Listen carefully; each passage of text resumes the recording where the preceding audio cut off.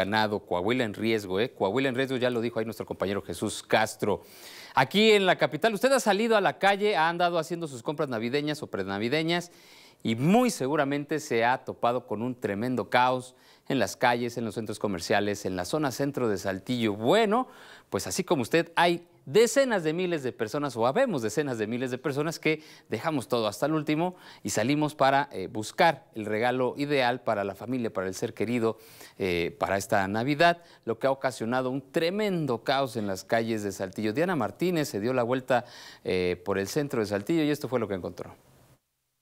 La afluencia de saltillenses se disparó en la zona centro de Saltillo. Cientos y cientos de personas acudieron al primer cuadro de la ciudad a comprar lo necesario para las posadas y fiestas decembrinas. Ropa, zapatos, juguetes y todo tipo de artículos para regalos se vendieron al por mayor, siendo esta la mejor época del año para los comerciantes. Doña Marta Leticia Cedillo llegó desde temprano a la zona centro para buscar ropa de fiesta para estrenar durante su posada. Además, aprovechó para comprar algunos regalos. Las compras para la Navidad.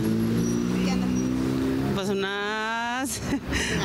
regalos y un traje porque vamos a dar la posada ahora de mi pareja. El tráfico se complicaba por momentos, sobre todo en las principales calles como Pérez Treviño y Allende, por lo que fue necesaria la presencia de elementos de la Policía de Tránsito Municipal para despejar las vialidades. Algunas personas permanecieron en el tráfico hasta 40 minutos para entrar al centro y unos cuantos minutos más en busca de lugar para estacionarse. Tal fue la situación de Pedro Daniel Fraustro, quien acudió al centro para realizar las compras navideñas. Eh, pues andamos comprando pues, lo que se va a estrenar, los regalos, todo. Sí, ¿qué, qué tal? ¿Se han encontrado buenos precios?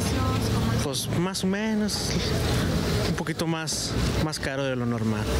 ¿Qué encontraron? ¿Qué compraron? Pues hasta ahorita nada más una chaqueta para el frío, para la niña. Con imágenes de Gerson Cardoso para Telezócalo, Diana Martínez.